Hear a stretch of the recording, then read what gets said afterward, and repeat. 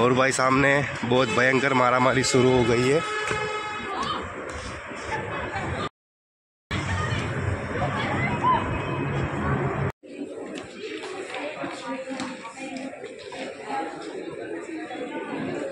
दोस्तों, मैं अभी आया हूँ एक ये डी कैथलॉन के शोरूम में। एक दो चीज़ें लेनी है। तो पहले देख लेते हैं, अगर मिल गई तो ले लेंगे।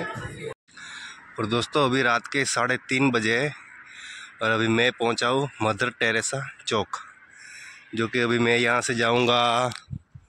ये। स्मृति सदन है विष्णोई भवन गुड़गांव में इकतीस सेक्टर में।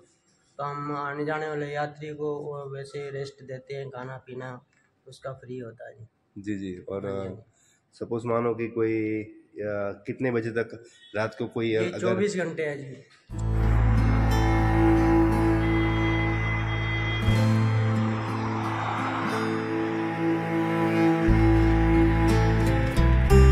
अभी वहाँ से निकल के आ गए हम बस अभी ये दो किलोमीटर में चल लिया और एक किलोमीटर बाकी है जहाँ पे मेरे को पहुँचना है।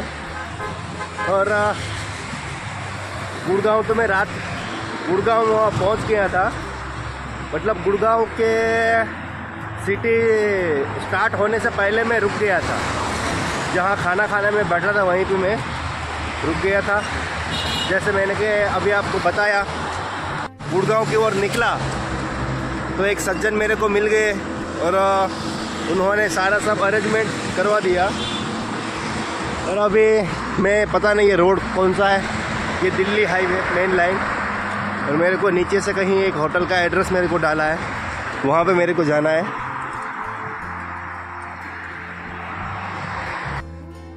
कारर महादेव जय श्री राम गुड मॉर्निंग दोस्तों। भाई रात को तो मैं चल के बस एक होटल पे रुका था।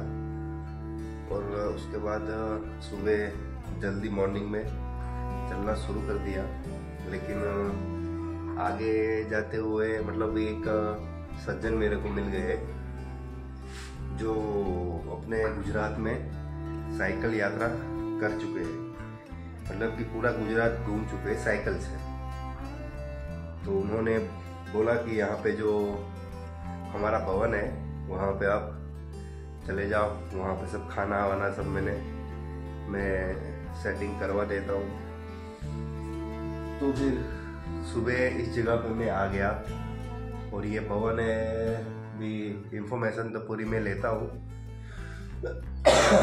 ये भवन ना, आया मैं तब से मैं खाना खा के, आने के बाद मैं सो गया रेस्ट ले लिया।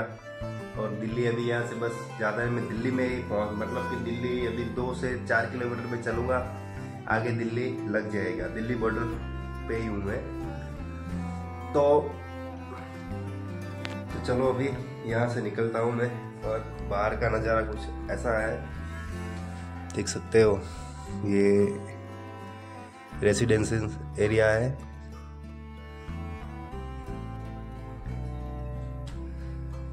तो चलो दोस्तों, अभी हम यहाँ से अलविदा लेते हैं। चलो भाई। तो दोस्तों, इस भवन पे आज शायद कुछ पूजा भी हुई है, जो कि वो सर थे, वो यहीं पे आए थे।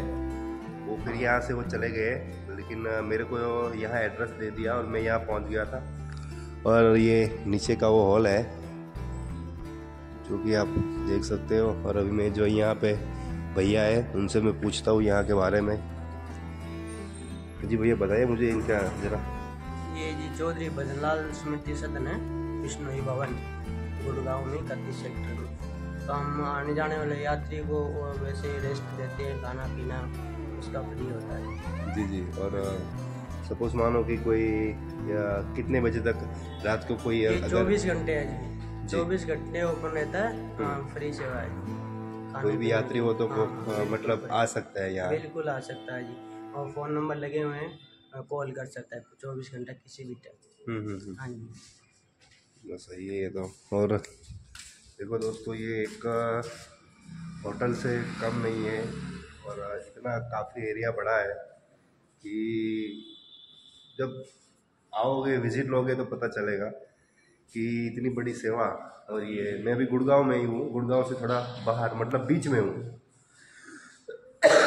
तो आप किसी यात्रा पे हो या कोई मतलब कहीं जा रहे हो, कहीं होटल ना हो तो इस जगह पे भी आप आ सकते हो, जो कि यहाँ पे बिल्कुल फ्री सेवा है। और अभी आपने ऊपर के कमरे तो देख ही लिए, आपको लग रहा होगा कि मैं होटल में हूँ, लेकिन नहीं, ये संस्था है। ये देखिए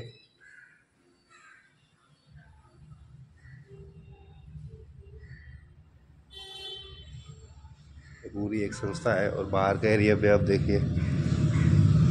और ये बिल्कुल रेसिडेंशियल एरिया में है रेसिडेंसी एरिया में है।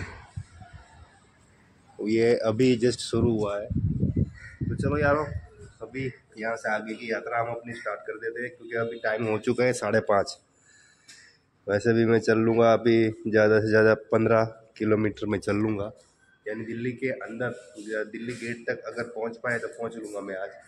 अभी वहाँ से तो हम निकल आए दोस्तों और अभी मैं ये एक ओवर ब्रिज क्रॉस करके ये गूगल हब मतलब गूगल की जो ऑफ़िस है वहाँ पहुँचा हूँ। गुड़गांव। और जस्ट अभी आगे की यात्रा स्टार्ट करते हुए देखता हूँ आज की नाइट में कहाँ तक मैं पहुँच पाऊँ। रात को 11 बजे तक तो मैं चलूँगा। दिल्ली तो अभी मैं पहुँच जाऊँगा। दिल्ली बस दिल्ली का एरिया अभी यहाँ से चार किलोमीटर दूर है। चार किलोमीटर में चल लूँगा तो दिल्ली में एंटर तो मैं हो जाऊँगा, लेकिन अंदर दिल्ली गेट पहुँचते पहुँचते टाइम लग जाएगा मेरे को।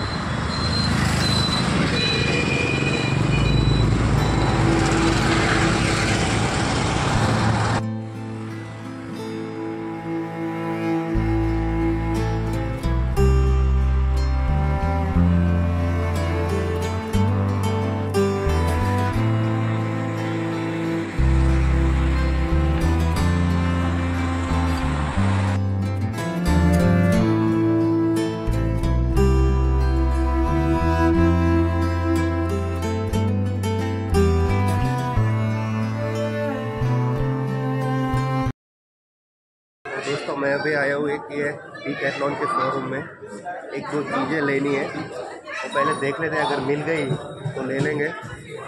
या फिर निकल लेंगे क्योंकि चाय का एक तो वो स्टव लेना है और एक छोटा पतीला लेना है, क्योंकि चाय का रास्ते में बहुत प्रॉब्लम हो रही है अब। जो चाय दस रुपये की मिलती है, वो चाय अब तीस तीस रुपये की मिलने लगी है। तो इससे बेटर है कि हम एक स्टव ले लें और एक पतीला ले लें।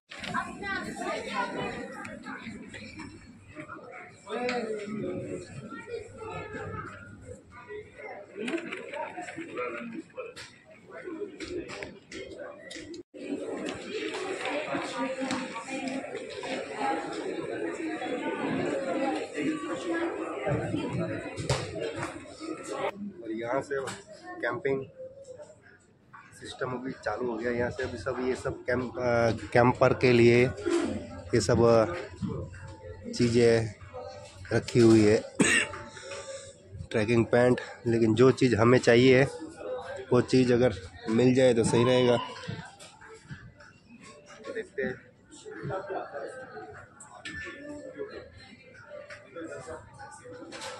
बाकी ये ट्रैक करने के लिए ये भाई साहब। चलो दोस्तों, जो हमें चाहिए वो तो हमें मिला नहीं। फिर यहाँ घूमने का कोई फ़ायदा नहीं है। वे अपनी यात्रा शुरू कर देते हैं क्योंकि है तो बहुत सारी चीज़ें, लेकिन सब काम गई लेकिन हमें लेना नहीं है। हमें बस एक स्टोव लेना था, लेकिन वो मिला नहीं।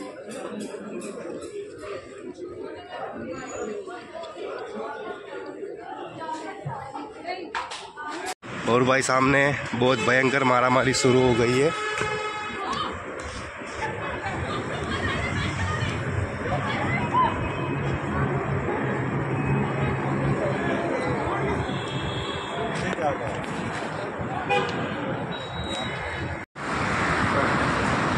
चलो दोस्तों, अभी वहाँ से तो हम बाहर निकल निकल आए जो चाहिए था वो हमें मिला नहीं।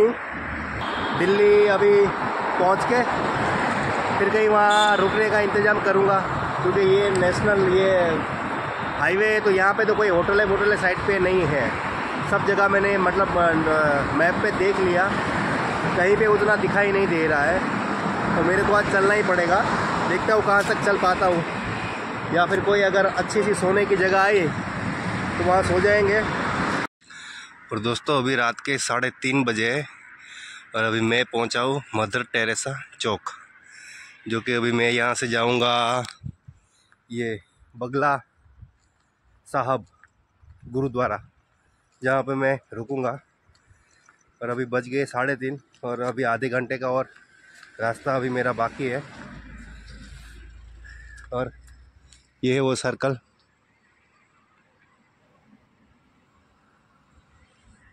दोस्तों, मैं अभी पहुँच चुका हूँ ये गुरुद्वारा, जो कि अभी मैं यहाँ पे रेस्ट लूँगा और सुबह यहाँ से अगर टाइम रहा तो दिल्ली गेट मतलब कि इंडिया गेट होके निकलूँगा, वरना फिर सीधा हरिद्वार के लिए निकल जाएँगे हम। और ये है वो गुरुद्वारा जहाँ पे मैं अभी जा रहा हूँ। भाई, क्या शांति है यहाँ पे। इतना सुकून है।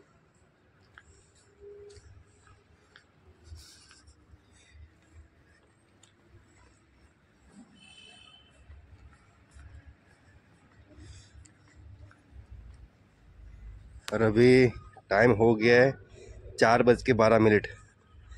और मैं जस्ट अभी यहाँ पहुँच गया हूँ। चलो यहाँ का नज़ारा तो मैं फिर अभी सुबह ही दिखाऊँगा।